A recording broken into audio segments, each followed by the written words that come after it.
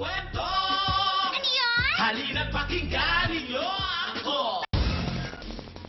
Nangunguna ang Pilipinas sa isang pag-aaral sa husay sa pag-iingles lalo na sa larangan ng pagnenegosyo o business English. Ang galing ng Pinoy sa Inglisan at kakulitan sa mga kwento ni Mark Logan. Do you know when you eat a banana it's good for the mind? Sa Inglesan daw, tayo ang numero uno sa buong mundo, lalo na sa negosyo. Tara, ikot tayo. Pero likas sa Pinoy ang kulit. Tara, let's visit the internet. Kung mahilig ka sa food trip, cold pakwan, 10 lang. Asparagus, 60 a bundle. O, pansit naman tayo. Na-meet mo na ba si Mike Gisado? Dessert? Type mo? Krenkels? Uy, oh may grand opening pa. We also available kikiam. Sa kasaging nila dito, banana flavor pare ko. San ka pa? Teka, na-try mo na ba yung mongoose soup? Tauge with beans at pinakbet? Hmm, kulay yellow ba talaga yung ice diyan? At murang oling nila ha?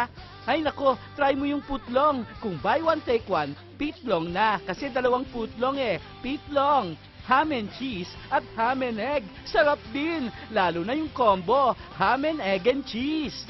Oy, kain ka ng kain hala. Pati CR dito may bayad. Pero may promo. Ayan o. At kung nakainom na, pagsakay mo ng taxi, please lang, passenger seat belt. Sa sinusundang jeep na basa mo, how's my driving? Sagutin mo ng ox lang, pero tanungin mo siya, how's your spelling? At huwag mo itong paparahin, nakita mo ng privit eh. Huwag magtaka pag lingon mo sa kaliwa, tama ka, baboy ang nakasakay sa fish dealer. Ay nako, hindi ka talaga makamove on. Feeling mo na isahan ka sa in-order mong special offer. Two drinks for the price of two drinks. Anyway, traffic talaga dahil may nagpipintura. Ayan o, weight paint, kaya magantay ka. Kung hanap naman ay pamporma, Coldoroy 50 o kaya Slocks. Jogging pants, may stepen din 20. Saka kahit mainit, mag-sweatshirt. O siya, pahatid ka na sa Asia of Mall. Only in the Philippines, brother! Mark Logan. Patrol ng Pilipino.